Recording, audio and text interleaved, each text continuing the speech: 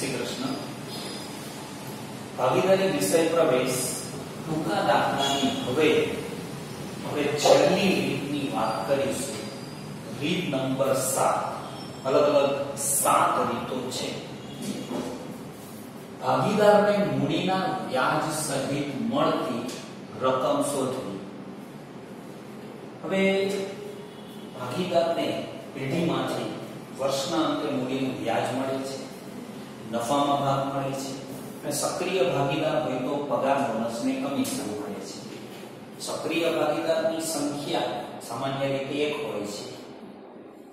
તો અન્ય જે તમામ ભાગીદારો છે, એને મળતી કુલ રકમમાં બે સામાન્ય રકમ હોય, મૂડી પર વ્યાજ અને વહેંચણી પાત્ર નફો તો આપણે એની ગણતરી કરવાની થશે. અહીં કુલ રકમ એટલે મૂડી પર વ્યાજ અને વહેંચણી પાત્ર નફો તો જુઓ, પાઠ્યપુસ્તકનું 11મું ઉદાહરણ છે, જેને અક્ષરા અને સપના સરખા હિસ્સાના ભાગીદારો છે.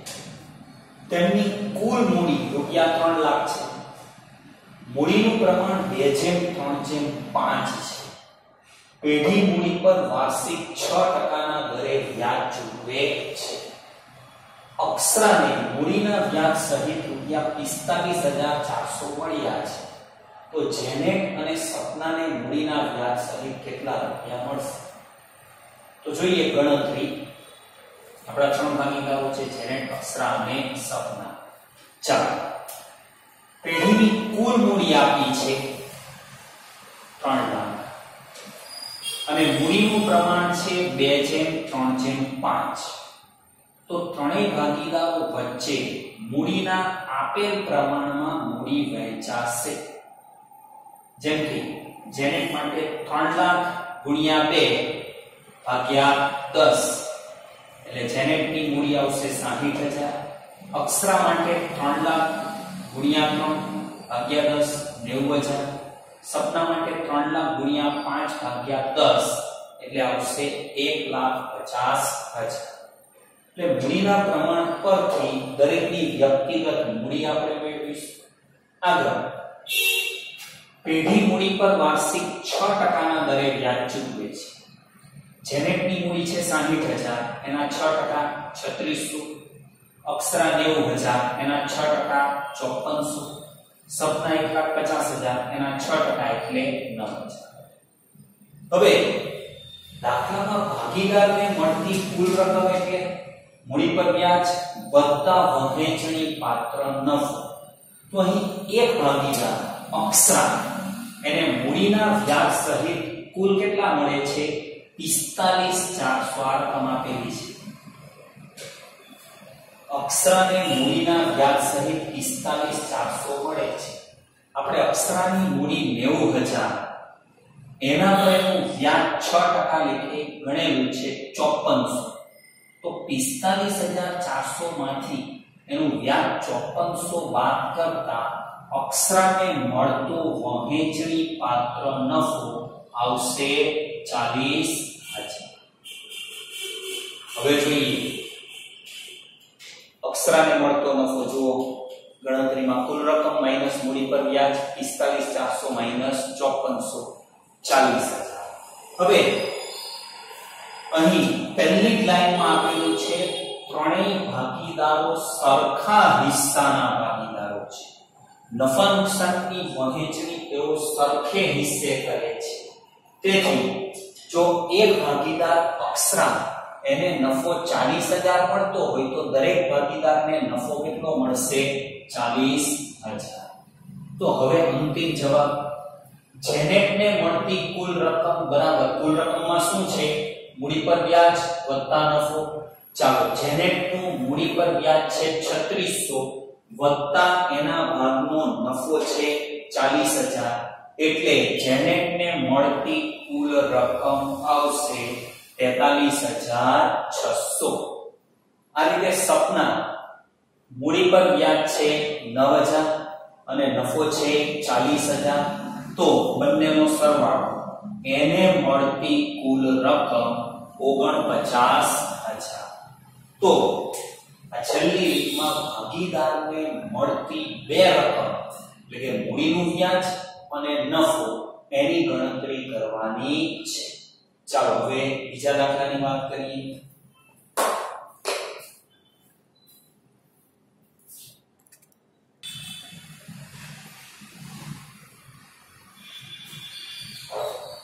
ચાલો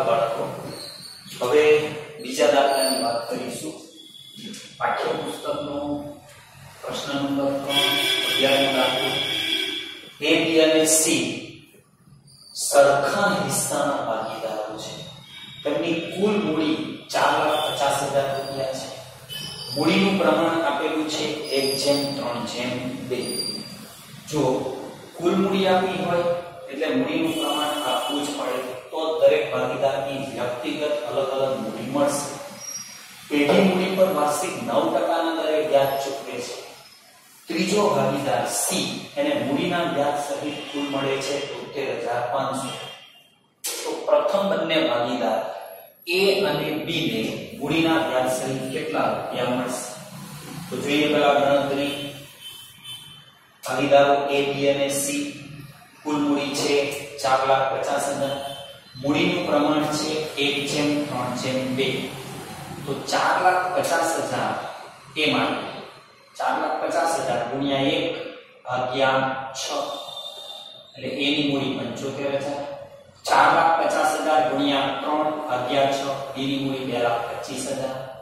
ચાર લાખ પચાસ હજાર ગુણ્યા બે ભાગ્યા છ સી ની મૂડી એક લાખ પચાસ હજાર. હવે એના પર આપણે વ્યાજ ગણવાનું છે નવ ટકા. પંચોતેર હજારના નવ ટકા, સડસઠ પચાસ. બે લાખ પચીસ હજારના નવ ટકા, વીસ હજાર બસો પચાસ. એક લાખ પચાસ હજારના નવ ટકા તેર હજાર પાંચસો.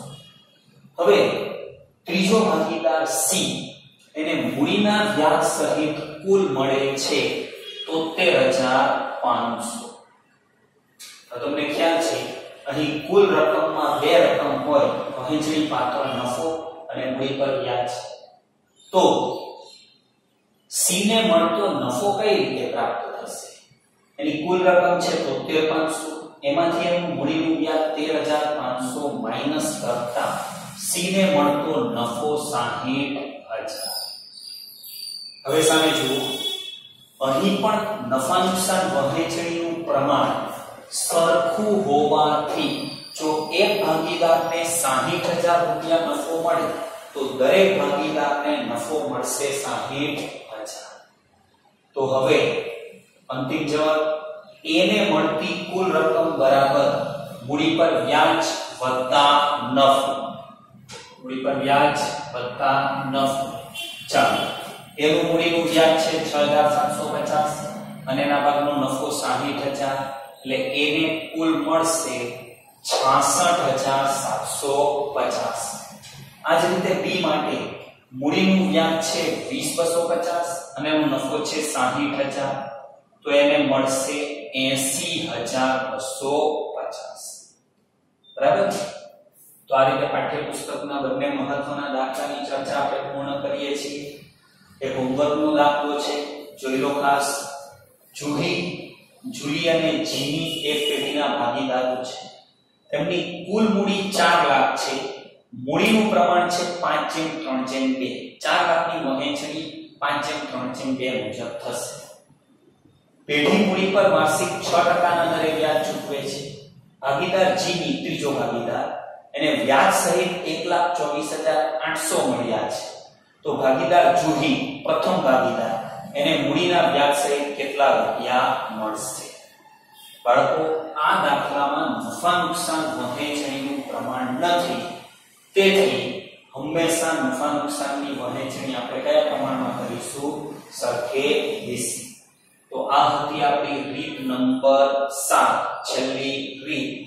ભાગીદારને મળતી કુલ રકમ શોધવાની છે, જેમાં બે રકમ છે, મૂડી પર વ્યાજ અને નફાની વહેંચણી અહીંયા આપણા ટૂંકા દાખલાની ચર્ચા પૂર્ણ થાય છે.